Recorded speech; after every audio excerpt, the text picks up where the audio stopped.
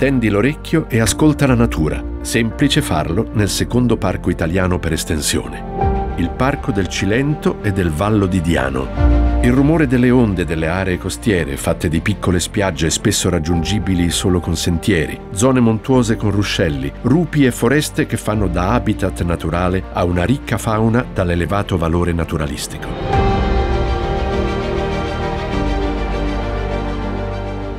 La Certosa di Padula è un imponente monastero barocco e ospita al suo interno uno dei chiostri più grandi del mondo. Giardini all'italiana, porticati, scaloni monumentali di forma ellittica rendono magico questo luogo.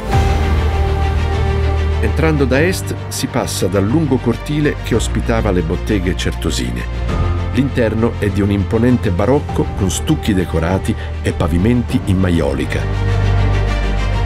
La Certosa di Padula racconta con grande forza 450 anni di storia fatta di monaci certosini, visite di re, accoglienza ai pellegrini e partenze di cavalieri crociati.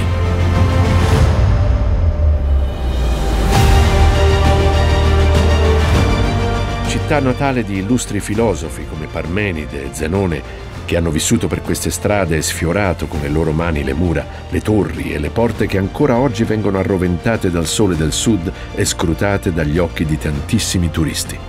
Velia è la testimonianza vivida e reale di una cultura che sopravvive ai popoli che l'hanno creata. Di una civiltà lontana ma che ancora oggi fa sentire la sua influenza.